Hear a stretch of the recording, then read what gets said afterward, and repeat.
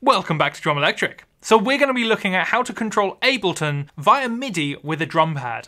I'll be using the Roland SPD-SX for this, but you don't have to. You can do this with the Alesis Strike Pad, the Sample Pad, the Yamaha DTX Sample Pad, any sample pad that outputs MIDI, you can control Ableton. It's great. So Let's get into it. Like I said, I'm going to be controlling Ableton with the Roland SPD-SX, so I'm going to relate all of it to that. But all of this can relate to whatever drum pad you're using. So if you're using the Yamaha or the Alesis, all you'll need to do is just adjust it slightly for that. So the first thing we're to do is install the drivers. I'm using Roland, like I said. If you're using any of the other ones, follow the same steps, but search for the required driver instead. So the first thing we want to do is install the relevant drivers. All we'll need is just the driver, on this case a Mac, so that when the SPDSX is sending out MIDI, the computer can detect it and send it through Ableton. So to find it, I'm just going to type into Google Roland SPDSX drivers, and then it's the first thing that comes up, support SPDSX drivers and updates.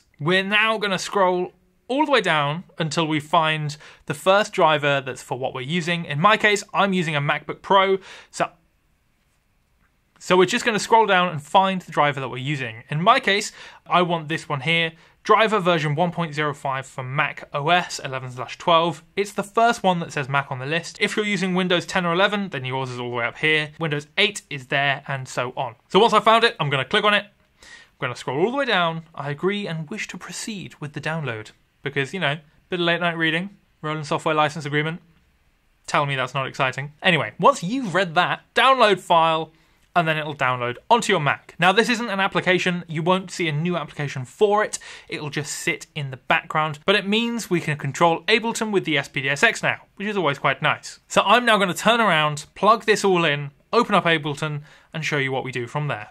So we're now behind the kit, which is always really good. The first thing we want to do is change the settings on the SPDSX. Mine's just here out of frame, so I apologize for that. But what you'll want to do is head into menu, head down to setup, head all the way down to option, and then USB mode, use the plus and minus keys to change that to audio slash MIDI. It might already be on that, it might be on wave, manager, but that's how we do it. Then exit that, we're just going to hit the kit button, and that takes us straight back to the beginning. Now from here, we're going to take our USB-B cable that's plugged into the back of the SPDSX. Mine's this lovely white USB cable, so there we go. I'm going to plug that into my Mac. Now to check that that's all working, what we can do is we can head up to the top to the sound preferences and we'll be able to see the SPD SX 44.1 kilohertz, yada yada yada. That means that the Mac is picking up the SPDSX, which is good. So the next step is to now open Ableton and hit the SPDSX. Where you want to look is in the top right corner where there's those two little squares and they'll flash orange if we're getting a MIDI signal. I'm gonna grab my stick. Good. We're not getting a signal. Now you're probably thinking, why why is that good? That's that's not the point of this. This means that there's two things that we can look at to check why we're not getting a signal into Ableton. So if you head into live and preferences and then head down into MIDI on the left, right at the bottom here, we can see that Ableton is detecting the SPDSX, which is good. Now, I've got all of these ticked. They will change depending on the project and the thing you want to achieve, but for now, we can just keep all of them ticked. So we know it's not Ableton. Now, what we can do on the SPDSX is check that it's actually sending out a MIDI signal. To do this, we just go into menu, kit on the top left, and then use the three buttons to select MIDI across the bottom. And we can see that the pad channel is sending global, so that's sending out all MIDI signals, but the MIDI note number is off. So this pad that I'm hitting, and this will be the same for all nine pads on the SPDSX, none of them are sending out any MIDI numbers, which is our problem. So we're just going to use the plus and minus buttons just to select a note. So in this case, MIDI note 1. I'm going to hit the pad, watch Ableton,